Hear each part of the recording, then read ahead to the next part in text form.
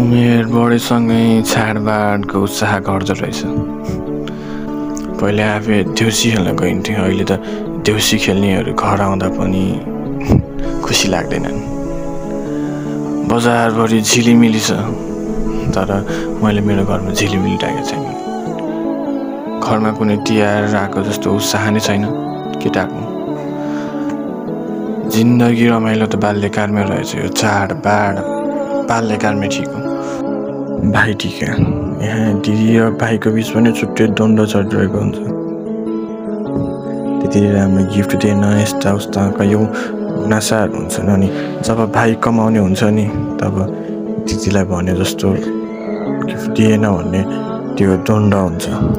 कयौँ सम्बन्धहरू त पैसा हेरेर बनाइन्छ।